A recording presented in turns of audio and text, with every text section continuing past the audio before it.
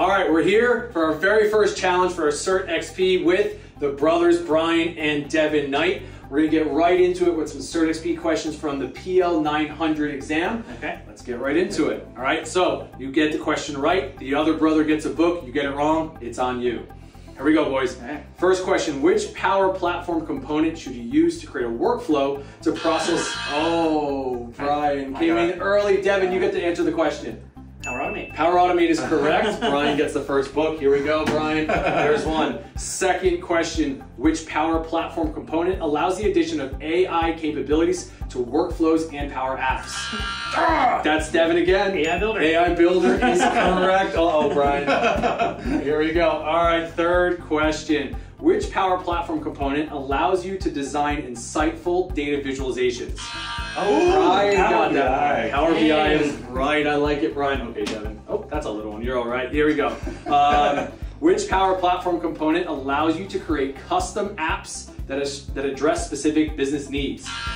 That's Power Apps. Oh, Power Apps. It is Brian. Very good. Wait, wait, wait. Oh, yeah. almost got him there. All right, the next one. Which component allows you to create AI-powered chatbots? That's Devin. Copilot Studio. Copilot Studio, absolutely. Here we are, Brian. Getting heavier by the minute.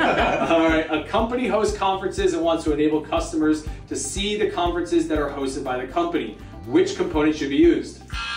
Devin, Power Pages. Power Pages. Uh-oh, Yeah. Brian, it is getting rough. I can see you wiggling. Here we go. Uh, field techs need mobile app to capture location and image of defective products. What do they use? Canvas Power A App. Canvas app specifically. Very good, Brian.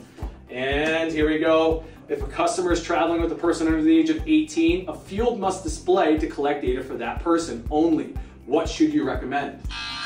A business rule? A business rule Oh, is dang. right. It's Oh, my- Brian's not making my a comeback. here. All right. All Just. Give me some more Power BI. Uh, what is the name of a Power BI visual that allows report consumers to ask questions about their data?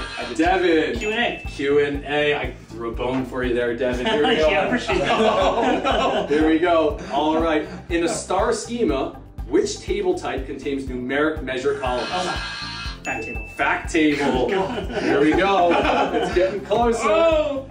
And here we go. In Copilot Studio, what component is used to train the bot to understand how someone might ask for a topic? Oh. Three, two. Oh, we both get one. Trigger phrases. Oh, I should have known that. I should have known that. Oh, no. Brian, here we go. It's about to tip. Uh, in a Canvas app, which controls allows users to modify values for each column of a row in a table? Oh. I've lost track. One more time. Three, two, one. And edit form. Oh, I wouldn't have got that right. Oh, and there we are. Let's see. Can Brian hold on for the last one? No, Brian And can't. No! There we are. Devin is our winner of our very first edition. We studied CertXP a little bit more. We'll get more questions right.